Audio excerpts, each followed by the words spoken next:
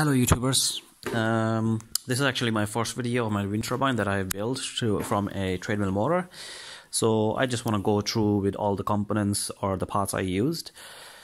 Um, this is actually a nice heavy piece of metal for extending the wings and you can actually get in a hardware shop and you can actually make drill the holes um, yourself and uh, they are actually heavy and uh, they're nice and handy when it comes to extend the length of your wings because I want the wings to to catch the wind capture the wind as much as they can.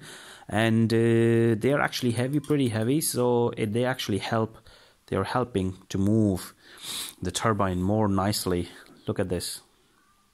Because they're heavy I think as a counterweight it works so you know it's keep moving. So this is my probably my theory that it will help me to actually spin this motor in even um, very low winds. And the good thing, the beauty about the treadmill motors are, is they actually spin very nice and smoothly. There is no cogging in wind um, in Trademill motors, and you can see the thickness of the the magnet in there how thick it is that. And the router you can see is still in pretty good condition. Uh, so I took it out the motor from a Nordic treadmill motor. And uh, this is what it say 130 volt DC direct current. That's the watts. I presume I divide this by this I'll get the amperage hour probably 10 or something because I tried to spin. Before putting all this I spinned with my drill uh, so with my voltmeter down there I actually got uh, 188 volts from that from this Trademill motor. It's a permanent magnet motor. Now this part as a tail boom you can see I took it out from the Trademill as well. It's nice painted already so I have to use a DIY part so I use that and you can see that I clipped it. This is a galvanized tin I found so I cut it myself and make a kind of a tail fin. And I hooked this up um, with these brackets which were in my dish. Now what I did is I'll show you. Now this is a fan I presume. I never took it out. Uh, I never took it out. And uh, I presume this fan will keep the the motor nice and cold and cool uh, if she's really spinning hard. And to make uh, I, I learned that the, the furling in the turbine is very handy to keep them out of a uh, very high winds to save your motor so it won't overheat. And that's what I got that uh, um, I made a nice cut over here from same it was like this so I made a cut so it this pipe actually go all the way this way and not more than that. And then I put some rubber pieces there. So it actually it stay there. So it actually um, basically I put this here. It won't go too far from this side but it will go over there but not onto my wings. So I had to put something to stop is going down more further. Now this is all totally a DIY project so I just want to see if this will work out. Now this is your I guess negative and this is your positive here. The blue wire in Trademills are for overheating temperature sensors so I just wrap it I don't need it. Uh, I'm I'm sure this fan will look after it. Now um, I'll this is the piece, this bungee strap doing actually nothing, just holding this. Uh, it's literally just holding this pipe there so it won't go down. Now these are the bearings that I got. Um, it's really a couple of bearings. I put it together and just uh, right it's size same size of diameter of this pipe and I put it together and it spins nicely. It's waterproof grease up there of course you have to put the grease on because it's not sealed bearing. And then there is a rubber cup up there just for water not to go onto these bearings. Now this is a slip ring which is going all the way inside you can see. So with the slip ring the handy thing is your your your basically wires won't won't twist your your wires won't twist. Now I will show you an example of this which is here. This is the slip ring that I got. And uh, I'm trying to zoom it see if somebody else want to buy it. Well there's there are plenty of uh, slip rings out there. There you go there's plenty of slip rings out there that people can buy. Even better quality ones. It's good enough for me. It was cheap enough and good enough. So basically slip ring is what it does is uh, it help not to twist your wires in in the wind. Basically I'll show you now. This top part will the, the top part will move but the bottom part you can see is I'm holding it tight it won't move. So imagine this is your turbine. Is moving 360 degrees not twisting your wires. Smooth work. So you can get them on the eBay. It was cheap enough for me to order anyway.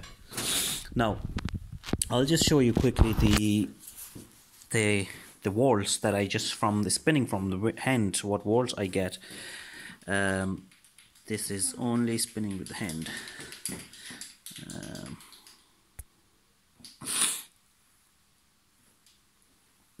this is only spinning with hand you will see.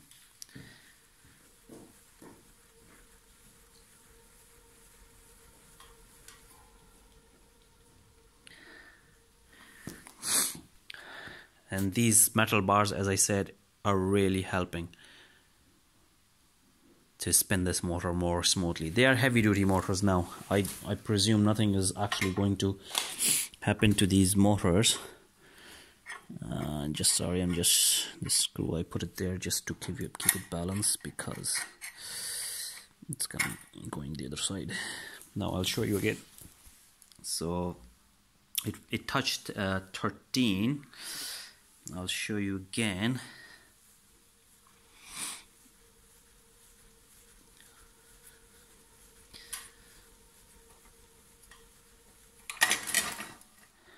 so sorry I have to stop it because as I said because it's it's basically it's it's round from here. There's not solid base there at the moment. I'm just really putting up there. So it's kind of slipping down. So just give me a moment please and I will it's pretty heavy. It's really really heavy mortar. And uh, really heavy motor. And when you add more parts in there it just get heavy and heavy. So it will be a tough job for me to put it up there.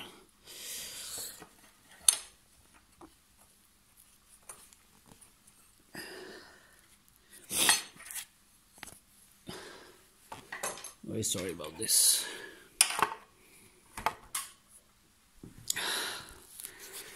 Still not very stable, but uh, just want to show you what I can actually achieve just spinning by hand.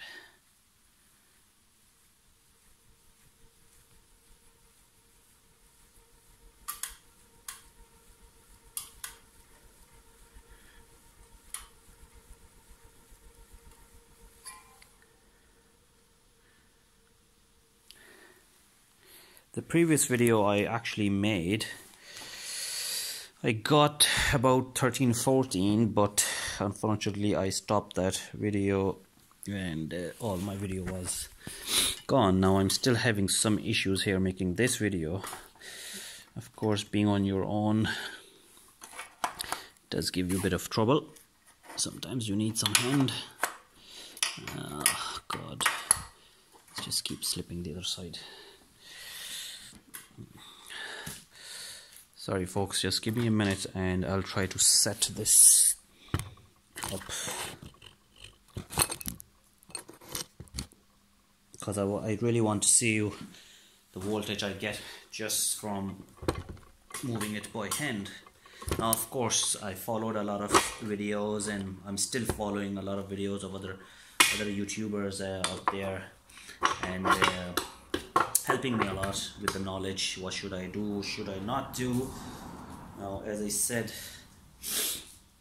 um, by making these videos we mean you're helping each other and uh, you know you get ideas good ideas. Now I got this idea making this um, base from an office chair uh, it's really solid. It's I've seen people making with a piece of wood basically the turbine is sitting up there and you know but over time this is going to go you know? It's to soak. As I said I live in Ireland so it rains a lot to be very honest. Now I'll try to spin this. Now hopefully this thing will stay there and I'll show you what uh, volts I will get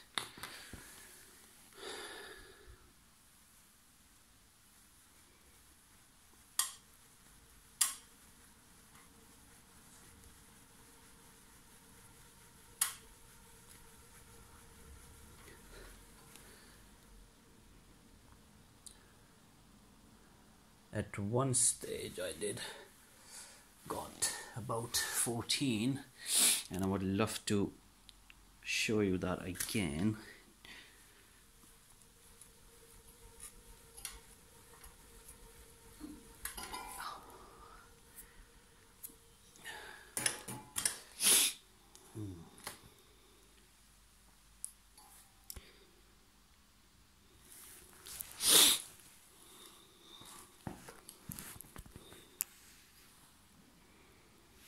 Bear with me, please.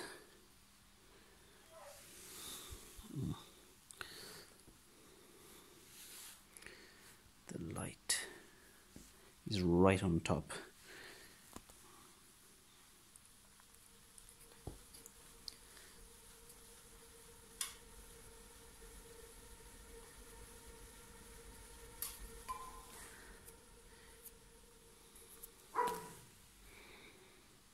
As I said these bars are really helping to spin this motor very nicely.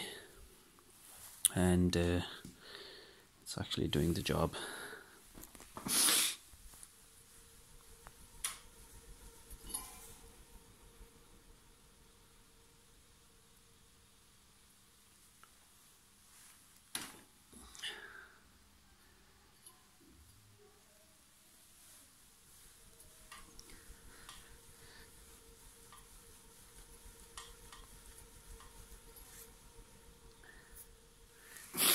I'm trying to build a 48 volt system. Um, as I said a while ago when I was um, doing the when I was uh, a while ago I was uh, I tried with my drill machine and it produced me 188 volt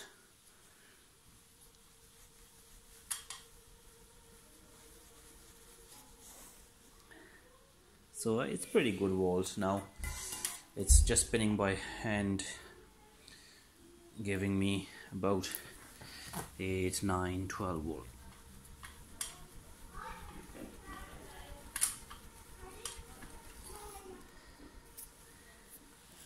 So yeah it's actually uh, doing a good job and I'll stay in touch with the updates and when I'll put it up tomorrow I'll get a PVC pipe and put that in and uh, sorry galvanized pipe and the PVC wings that I will make it. And I'll go give you more update onto it. Please stay in touch and uh, please share and like the video if you think you gain something out of it which is probably not new for you guys but uh, I will appreciate it if you like it and share it. So it will actually just motivate me to make more projects and do more videos on my projects. Now this um, I have actually Valence batteries there. Uh, this is another um, you can say I'm looking for help someone if there is they have Valence batteries.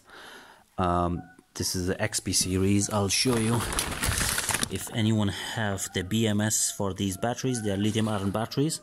There are 24 of them capacity of 40 kilowatts and if anyone has a BMS for them I will really appreciate if someone is out there to sell me that BMS if they are not using it. Um, my final project is a 3 kilowatt turbine and 28 panels of solar panels which is 6 kilowatt and fill up the juice in these 40 kilowatt battery storage. That's another project. I will come back to it but this is my diy project that i want to really really see how nice it can go.